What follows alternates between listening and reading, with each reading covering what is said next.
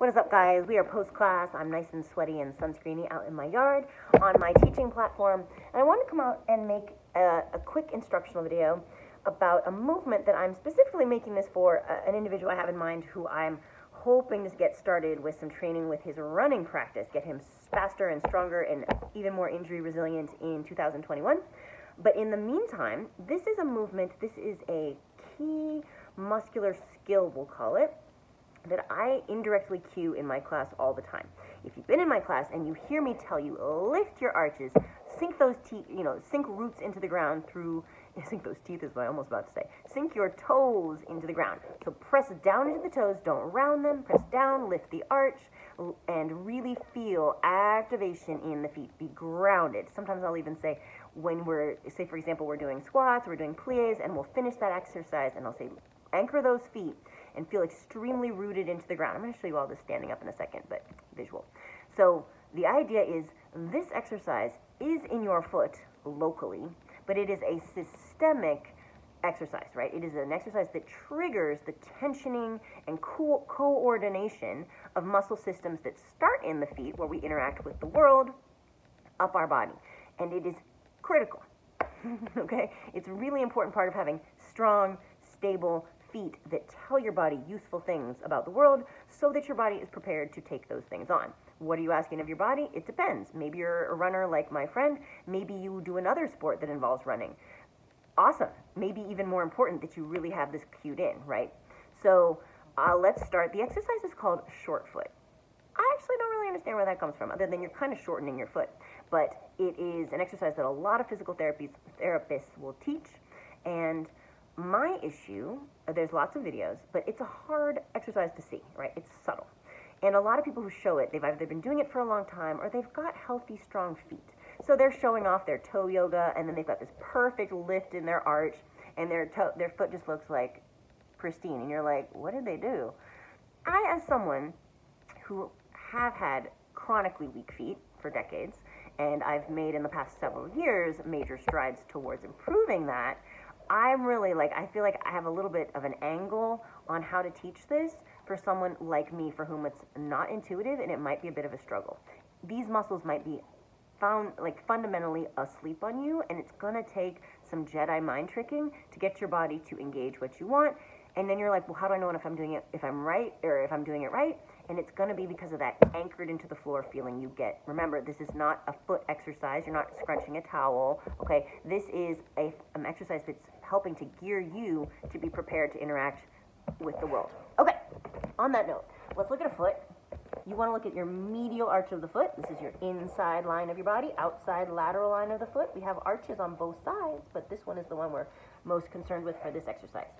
I'm pretty close to you right now, but I want you to be able to appreciate that I'm standing, I'm not sitting. And I'm going to put a little weight on this foot, and I'm going to have a bent knee. So I'm going to go far enough away so you can kind of get that, I think. Um, the reason you want to be standing, not sitting, is because, like I said, this is a systemic neurological triggering exercise. Part of your environment involves gravity. Your body will respond and know what you're asking more readily from a standing position when you're in, interacting with gravity than when you're sitting. So eventually you can do this from a seated position and in other variations of the foot position, but this is the most vanilla way to start. So you are going to imagine the tripod of your foot. Big, big ball of the, or ball of the big toe, ball you could call it of the little toe, right? This segment, and then a, one right dead center in your heel. Those three points right? This middle arch of your foot, your toes have lots to do with your body, but for right now, just picture this structure where you're initially bearing weight. It's really important that this structure is stable. This structure is made to be extremely mobile, but we also have to be able to control that mobility. That's the function of stabilizing this joint, okay? It's only as useful to us as we can be both mobile and stable. So this is a stability or a stabilizing exercise. We're asking for tension in the body. We're recruiting actually a primary muscle that's deep in our calf, wraps around, connects to the highest point of the foot, and then like a fan or a hand under the foot pulls up under your arch. It actually connects to nine different places on your foot after that initial insertion on your navicular. If you're curious, I'm talking about your posterior tibialis. So it reaches under the foot and it pulls up. And you are thinking about that muscle when you do this exercise, and you're using it to lift your arch. as you lift your arch, right, with that muscle, so you're not going to lift your arch by rolling your foot, because a lot of times I hear that cue, and it's like, well, you do lift your arch, but you lift it muscularly with this pulling action. So you're going to feel like you're pulling your arch center, and as you're doing that, you're sliding the ball, uh, the balls of your feet, right, the top part of your foot is sliding back towards the heel. It's compacting. And as you do that, rather than crunching the toes, you're going to push them straight down. So I've heard people say push your toenails into the floor, and I was like, what does that mean? My toenails don't reach the floor. What they mean is the tips of your toes, and it's not like the point of your toe, okay? The bottom pad of your toe, like that. Claw the ground. Get traction. Think panther paw. Claw into the ground. Drive down, straight down into the toes. You're going to feel the ball of your foot lift, okay? It doesn't have to come up high but it's going to get lighter as opposed to digging it into the floor and feeling more pressure here. No, that's not what we want. You want to push into, so first thinking the mass of the foot. The mass of the foot pulling up, press in, keep the toes long, keep the toes long, don't let them crunch, keep them long, squeeze from here, pull, you see the activation, see that active lift, cramp it out a little for me, and then give me some extra sauce and drive those toes down. Pull in, press down, right? Now, and then release. Now, uh, this, like I said, this is an exercise that messages that connects to your whole body, right? Because again, our body works in systems, right? It's not it's not interested in cuts of meat at the grocery store. Your body works in systems, and so many of those muscular systems start in the feet. Your muscles are fascially connected, and this is really key because this particular muscle that we're triggering here, which it's, it's all the muscles of the foot, okay? All the muscles between the metatarsals, all the muscles in, you know, um, that move the toes, that activate those toes. It's not even worth mentioning them. This is not a single muscle exercise. But the single muscle, I'm sorry, I'm so shiny and sweaty. It's a little distracting for me, but just enjoy my glow. Um, oh, and I have a light right here. That's why I'm so shiny. I'm like, what? I have a, I literally have a floodlight right there. That's hilarious. But we're to leave it. It's not highlighter, it's just sunscreen. okay, anyway, pale girl problems. So you, um, I want you to think that muscle attaches to your deep fascia that goes up your body and into your pelvic floor. And in particular, this muscle associates fascially with your rear pelvic floor, your posterior pelvic floor. guess where that associates? Your glutes. Okay?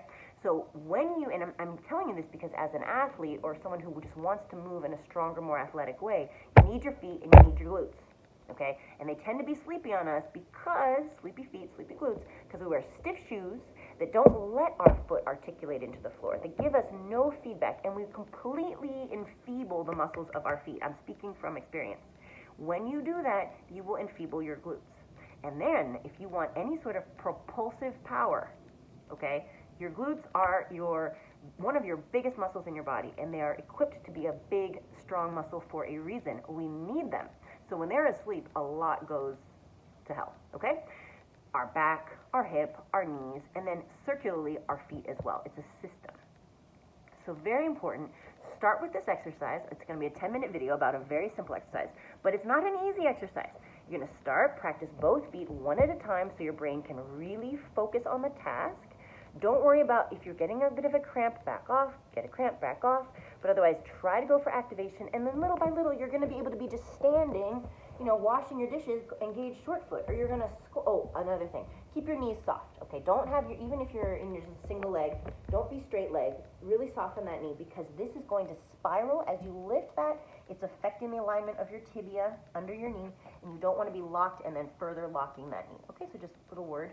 Keep it soft, but again, because we're in athletic stance, we won't have locked knees in athletic stance. We're here, we're lifting.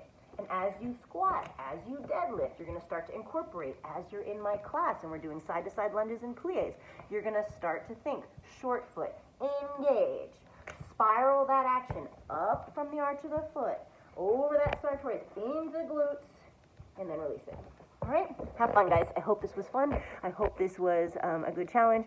I hope you are enjoying my glow. and I'll talk to you soon.